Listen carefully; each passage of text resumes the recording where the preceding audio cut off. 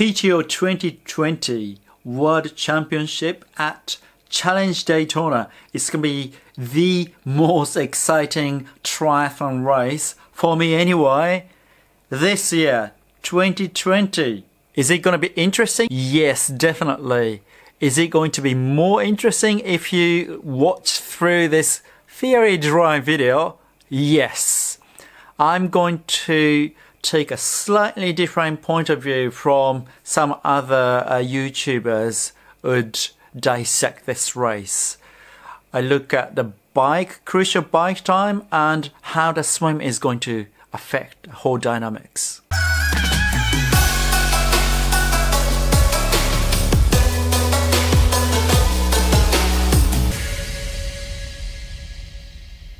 It's happening on the 6th of December, yes, in a few days, at Daytona Speedway, Daytona International Speedway, um, in Florida. That's where IndyCar race is happening, uh, but this time it's used for triathlon. It, it was done in the past as well. I watched this amazing video by Lionel Sanders about the, the same race last year, and that was very exciting. This year, it's going to be even more exciting because there are tons of top triathletes from both short distance and long distance. It will be broadcasted live. I will tell you guys more details later in this video. So why many top triathletes are gathering? One, because there hasn't been many races, especially for long distance triathlon and on top of that there will be a huge amount of prize money. Wow it's huge for triathlon. The first um, would get 130 US dollars and that's gonna go all the way down to the 60th PTO is trying to help triathletes professional triathletes because they're not getting enough races this year. Now the distance. Swim 2k bike 80k and run 18k. So all of them together would make 100k. That consists of 2 laps of 1k swim, then 20 laps of 4k on a, on a race course. It's, it's got a bank going round and round. And they run around the course as well. That's going to be 18k. Um, four laps of 4.5k. To think about race dynamics, I had a look at the race last year, Challenge Daytona, but they had a, a different distance. They did uh, a one mile swim, 37.5 mile bike, and 8.2 mile run. In kilometers, that was 1.6k swim, 60k bike, and 13.1k run. Last year, the front pack finished the swim under 21 minutes. Lionel Sanders was about two minutes behind. Pablo Dapena Gonzalez finished his bike in 1 hour and 17 minutes. That's the average of 46.9 kilometers per hour. And at the end of the bike, Lionel Sanders caught up. He did average of 48 kilometers per hour. That's fast. Then they had what I call the battle of the year Gonzalez made surges after surges and Sanders sealed it every time. And as Sanders thought, oh, I won't be able to do any more, he could actually have a gap and took off and he finished the run in 43 minutes. For women, Lucy Charles Barclay finished the swim just under 22 minutes. The winner, Paula Findlay, filled a gap of one minute during the bike. For quad run, they ran together and Findlay took off and finished her run in about 49 minutes. This year, the field is totally different. There will be heaps of fast short course triathletes from World Triathlon. Now, it, it used to be called ITU, but it's called World Triathlon. And of course, Challenge and Ironman triathletes for middle and long distance races. They all get together and race against each other. I think the most crucial part of the race this year will be the swim. And you will understand why after I tell you about the bike. What is a difference of possible bike time between fast swimmers and so-called Uber bikers over 80 kilometers? The fastest 70.3 bike split was set by Andrew Starykowicz. The average speed of 46.6 kilometers per hour. If someone does the same speed over 80 kilometers, that's going to be about 103 minutes. So that's the key number 103. I had a look at Norwegian's bike splits at 70.3 Bahrain when they broke the 70.3 world record. They did average 46.1 kilometers per hour over the 90 kilometers. If we apply that to 80 kilometers, that's going to be about 104, 104 minutes. That's the second important number. There's only one minute difference. Now, there's a difference at Challenge Daytona because there's a 20 meter drafting rule. So they have to keep the distance from the front wheel to the front wheel of the person behind. They have to keep 20 meters. At Ironman branded races, they usually have 12 meters.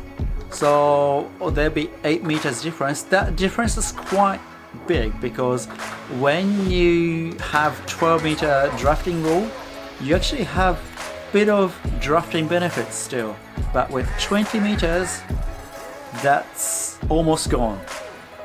Considering that factor, the difference would be 2 minutes, max of 3 minutes.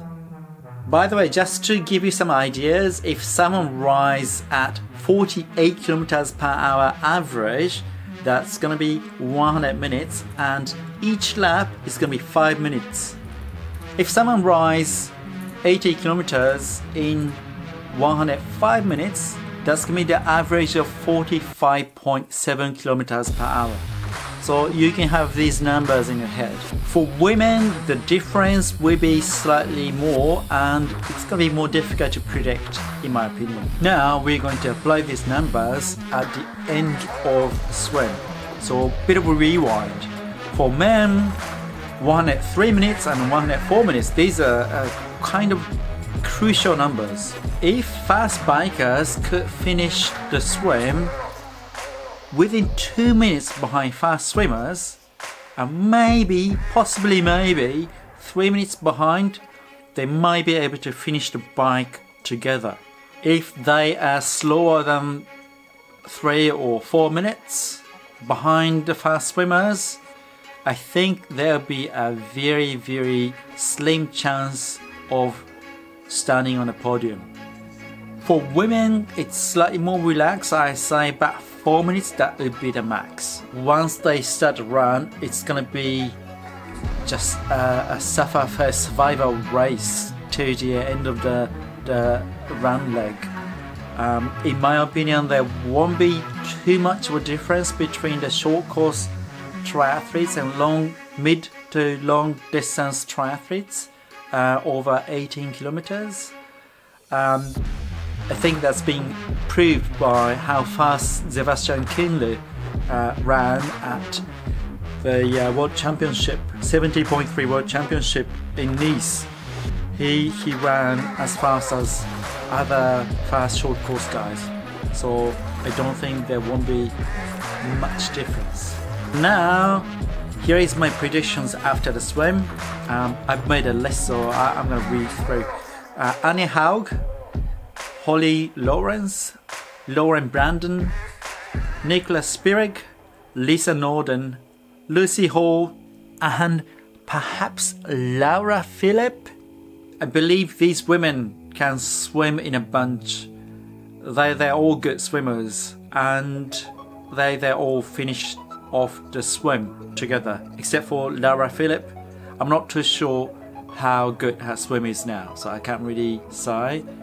But she could come out of the water with Anne Haug in Kona in 2019, so that could well be possible. I think during the bike, someone like Lucy Hall, uh, Holly Lawrence, they would drop. I don't think they can keep up with the um, the pace with others. Um, one person who I'm really interested in is uh, uh, Nicola Spirig. When she does short course races, she always, always leads the pack to to catch up to the, the front group. Uh, this time, I think they're gonna come out together in this, after the swim. So she will be a beast on a bike. My top three. Um, first, right on the top of the podium, Nicola Spirig. I think there'll be a, a very good chance of her getting on top of the podium.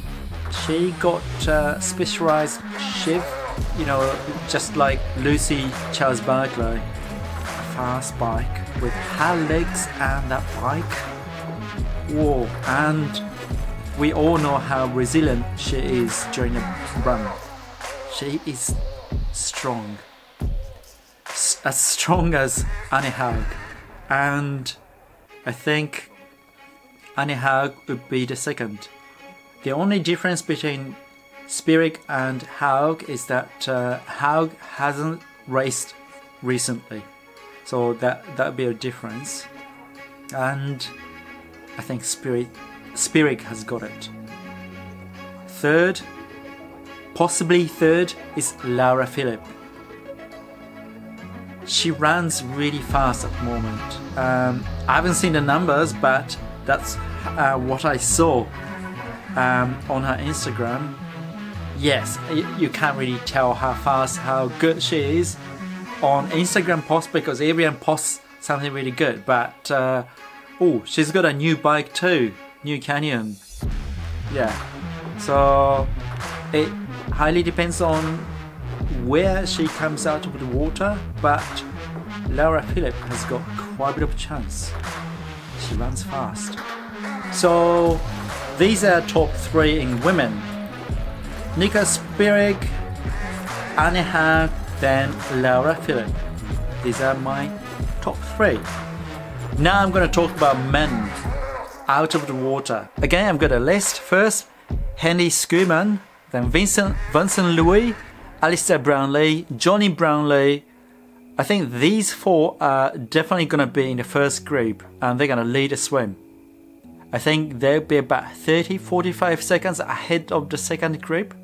In the second group, I would think Gustav Iden, Rudy von Berg, Ben Kanute, maybe even Tim O'Donnell.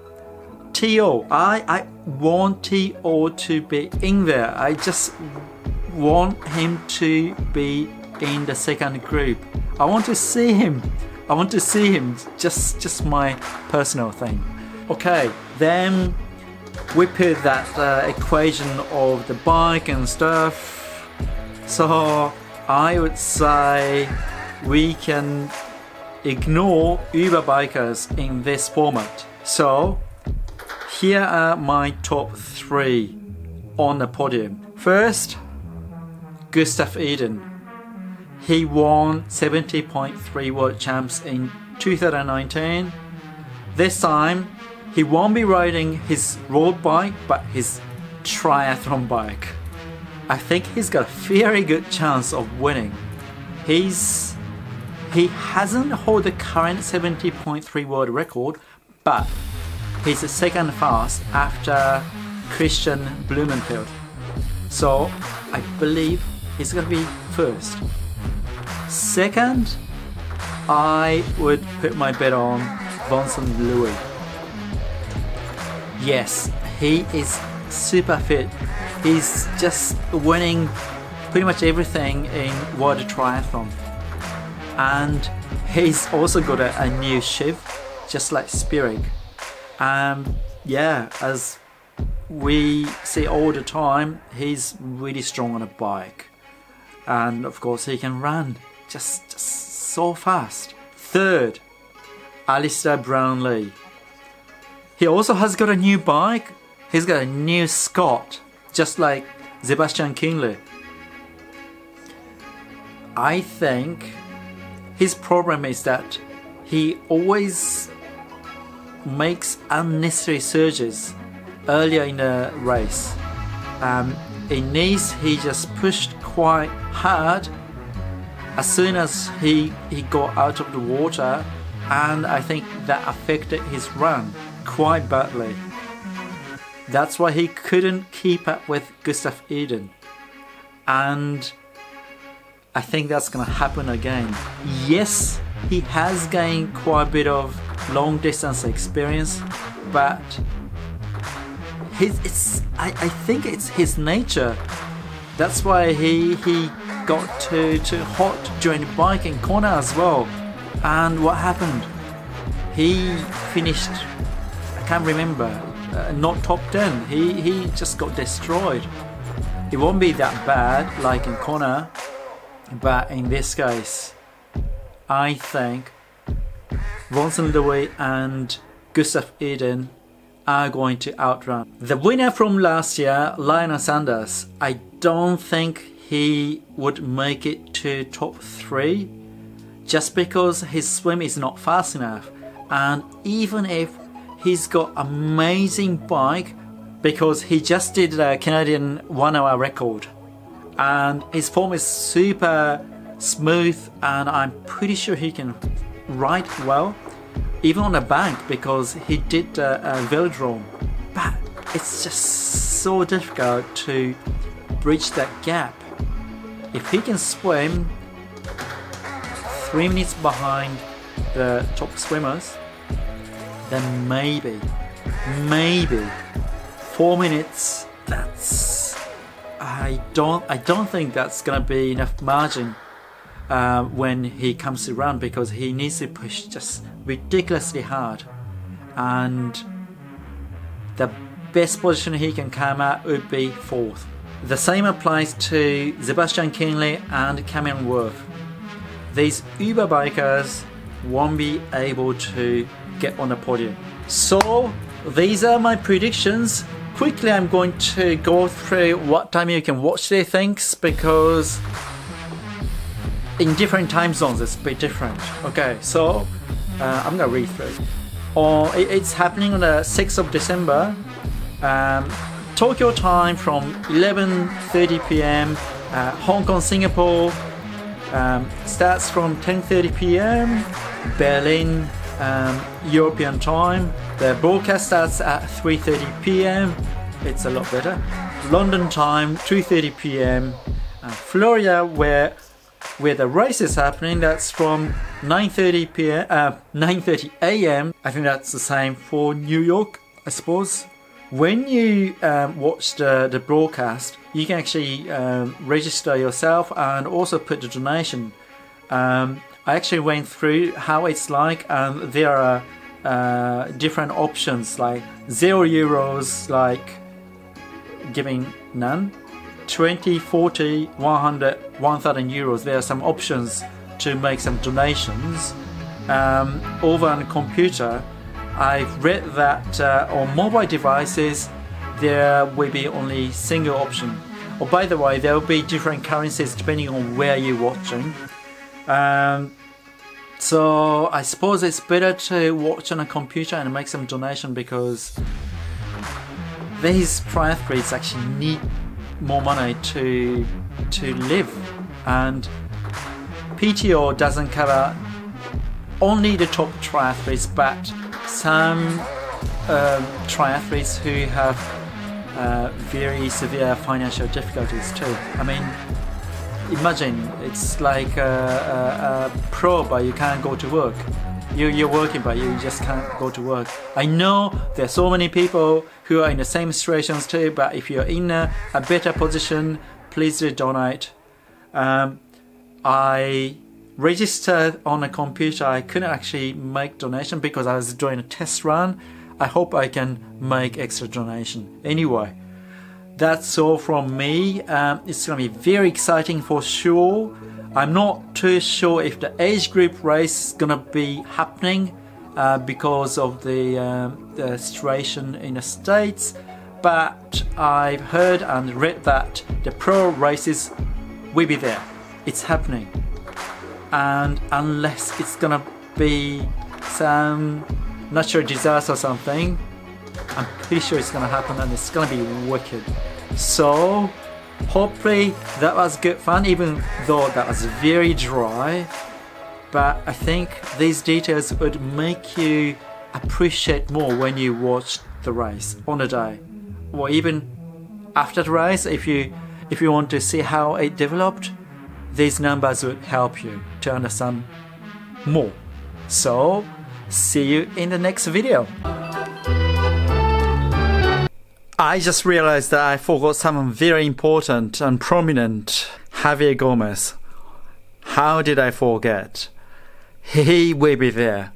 He's gonna be maybe finishing a swim with the top group or maybe with the second group like likes of uh, Gustav Iden and I'm pretty sure he will be right there off T2 oh and uh, another thing I just didn't realize that uh, Cameron Wurf won't be um, participating. That's what I heard.